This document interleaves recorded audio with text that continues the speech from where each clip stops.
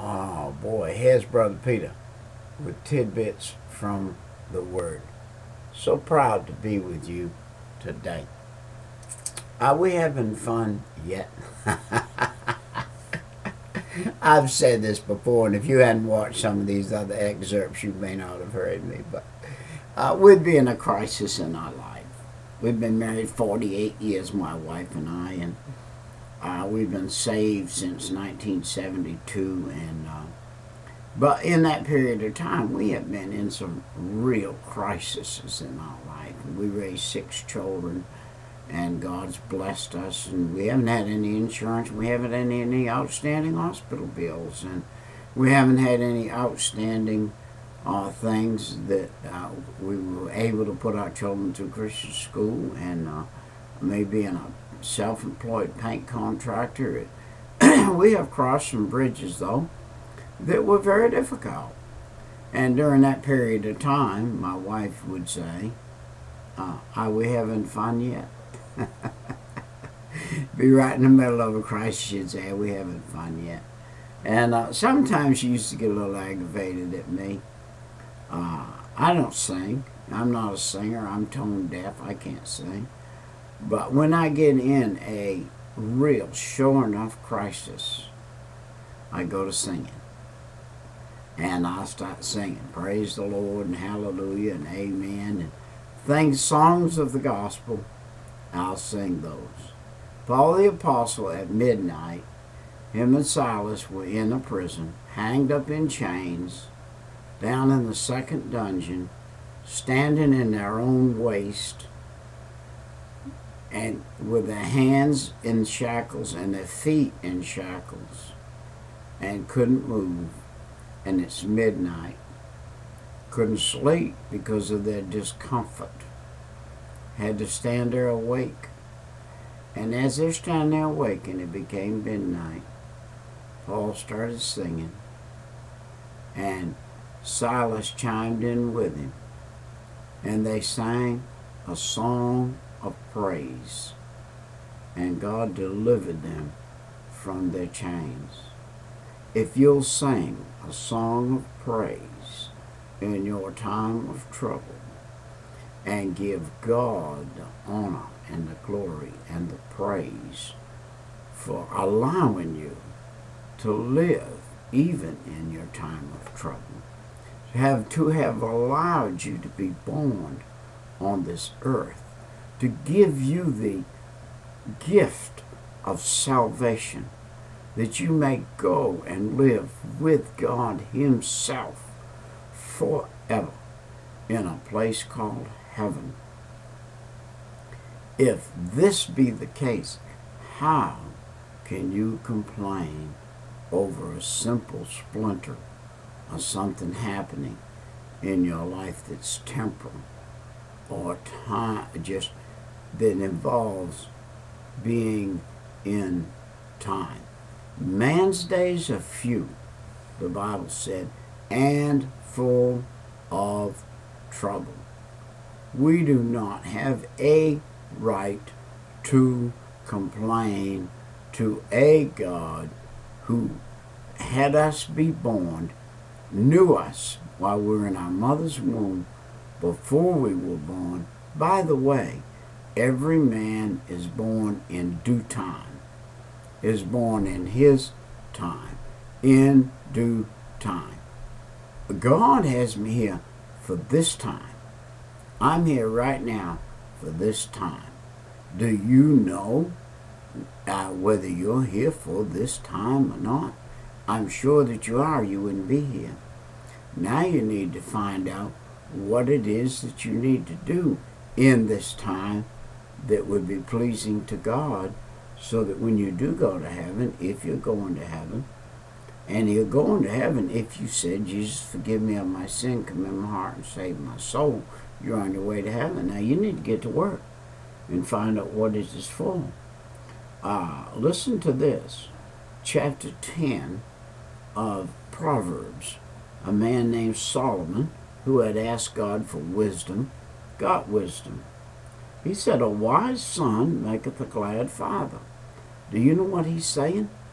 He's saying, A wise son of God maketh a glad father. God will be glad in heaven over a son that he has on this earth that's doing his will and his duty, and not but a foolish son is heaviness to his mother. And a foolish son can be heaviness to his mother and his father. And uh, verse 2 said, The treasures of the wicked profit nothing, but the righteousness deliver from death. The treasures of this earth, on this earth, profiteth nothing in the kingdom of God, but to find righteousness and mercy and to do God's will, that is treasure in heaven that is forever. I would rather have two cents in heaven forever than have two million worth of treasure on this earth to leave behind. By the way, Solomon said, What a fool that I have been with all the wisdom that I have. I have been a fool to amass such great wealth and things to leave it to a fool. Look it over. Think about it. Look over everything Solomon amassed. See how long it lasted after he passed on. When Solomon left this earth and left the scene, it wasn't but just a very, very minute, short time. It was all gone. All dispersed. All taken, all stolen, if you please, by the hands of those that were the very parishioners of Solomon.